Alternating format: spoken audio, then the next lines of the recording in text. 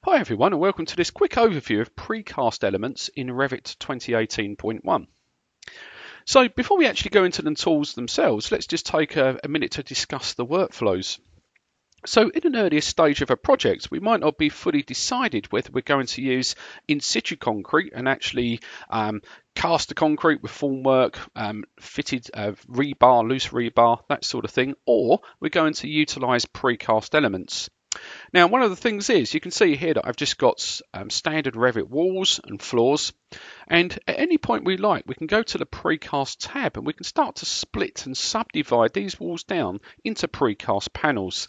Now, of course, in many projects, precast panels are um, quite uh, preferred because the speed of construction is much, much quicker. You know, we haven't got to wait for concrete to cure. Um, everything is kind of controlled in a nice factory environment. And actually, as you'll notice here as well, we do have CNC output as well, or CAM um, output, so we can send this information directly to automated machine tools to manufacture the panels. So let's just take a, a, a quick look at the functionality here. I'm going to start by going into the configuration tools. Now, of course, when you just click on split, Revit is going to start to break these walls down into subcomponents. But how does it do that? Well, Obviously, we wouldn't want a panel perhaps that was 30 meters long. Uh, equally, we might not want something that's 80 tons to lift. So what we can do here, for example, if we select the segmentation tab here, you can see that we can de determine the minimum wall lengths, maximum wall lengths, maximum wall heights, as well as things like the maximum weight of the panel. So this will obviously help us um, or help Revit uh, create uh, precast panels that can be transported and it can also be lifted as well. And of course, we can do a very similar thing for our floor slabs. You'll notice on the floor slabs here, we have solid slabs or hollow core slabs. And then we can also do our own custom families as well. So this is built-in parts um, and in here you can see that um, just for this example I've created an electrical back box and channel and obviously I want that precast in with the wall panels there and I want that to be dimensioned and integrated with the um, fabrication drawings that you'll see uh, me create a bit later on. And then down here we can also con uh, control and set up our CAM export tools as well. So let's go ahead and see what Revit makes of this wall here. So we'll select this, we'll go to the precast tab and we'll choose split. Now, obviously you can choose more than one wall. You can split all of them in one go, um, but it's quite nice to do, do them um, in groups so it doesn't take too long for the software to calculate. Okay, so you can now see that Revit's completed the task and actually segmented all of those walls there. I'm just going to do one more for you as well. So we'll go ahead and click this angled wall. Now, obviously Revit can um, split walls such as this, but it couldn't split curved walls. So the elements do have to be planar um, at the minute. Okay, and now Revit's finalised the uh, division of this wall as well. So what's it done? Well, it's actually utilizing standard Autodesk Revit assemblies. So these are parts, yeah, and the parts have actually been generated into assemblies. So consequently, all of the naming and numbering has been taken care of. Now, obviously, I can come through and I can rename and renumber these assemblies if required, and I'll show you a little bit of that um, shortly. Before we go on too much further, let's also see if we can split the floor down as well. Now what I want to do here is uh, create these out of hollow core planks, but I don't want a plank that's going to be the full length of the slab. So what we can do, rather than just let the software go ahead and split it down as it sees fit, we can actually give it some sort of guidance. So what I'm going to do here is go into level 1, and what I want to do is I want to pre, um, pre-split this floor slab on grids B and C. So we can go to divided parts, um, intersecting references and I can go into grids and choose B and C and just get Revit to uh, go ahead and split those. There they are. And then I can pick the panels. So let's go ahead and do that. Go to the precast tab, choose split,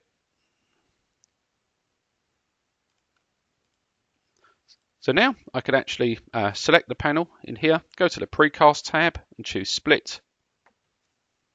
And Revit will now break this down into precast planks. Okay, so you can now see that Revit's finalised the um, division of that floor there. So we'll just go ahead and quickly do the other ones. Okay, so there are our panels split. Okay. Right, let's now start to have a look at some reinforcement here. Now, before I put the reinforcement in, I just want to show you what would happen if I actually added in my own custom components. So I've created a family here for a, uh, an electrical uh, backbox and channel that I want cast into the wall. Um, I'm going to put this on the exterior just so you can actually see this easily here. So you can see I can place place that out here. And again, just to remind you of this, if I go back into my um, precast tools, in here and we go to configuration and we go down to um, built-in parts here, you can see that I can actually determine the type of parts that I want to um, have the precast uh, configuration recognizing. And if I also go to dimensioning here, I can determine how that's going to be detailed and dimensioned as well. Okay, so there it is. So let's go ahead and now put some reinforcement into here. Now, again, I can um, set up the reinforcement in here. So if we go back to our uh, reinforcement for our wall. So here I'm going to use two layers of rebar. This is going to be the internal or inside. This is the outside or external here. We can put in some covers in here. So let's just go ahead and set the covers up. Um, also, we can determine uh, what type of configuration it will use for corner bars and so on.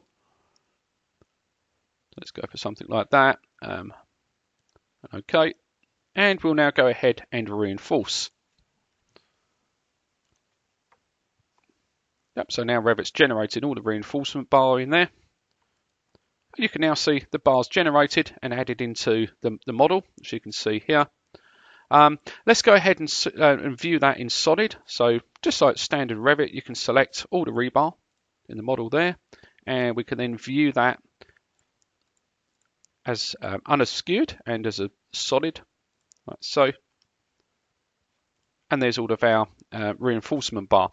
Now, you can see it won't actually put all the trimming bars around structural openings as of yet, but I'm sure Autodesk are working on that for future releases of this software.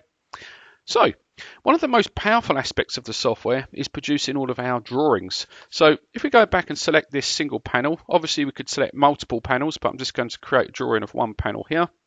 We can click Shop Drawings, and now Revit will automatically lay the views out onto a drawing sheet. It will put all of the bar bending schedules, and um, other in, uh, useful information onto the drawing sheet.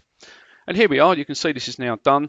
Um, here's my bar bending schedule. Now, if I want, if I really did want all of this onto one sheet, I could probably jig jig that around to get it all to fit. But I'm going to put that probably on another sheet.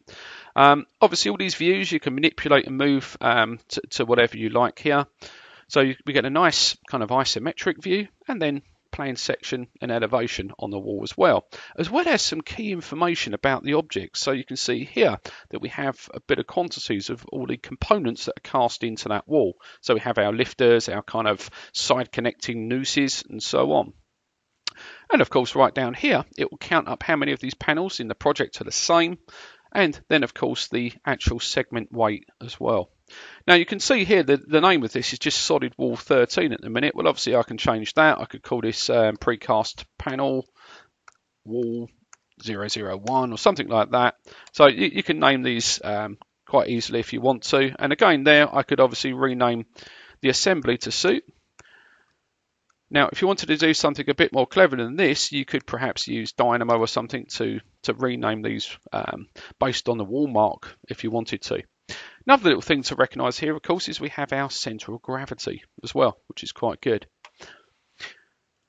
Now, once we've got all of this, we could actually then do an export out to um, CAM software in here. So you can see we've got Unicam here, which um, which is a file format we could use. And of course, we can just generate that uh, that information from there, and obviously send that out for automation and manufacture. Okay, good. So hope that's been uh, a, a, useful introduction to you. I urge you to um, take a look at this if, if you're interested in the precast module and see how you get along with it. But it's, it's relatively straightforward to use. Okay, speak to you soon. Take care. Bye bye.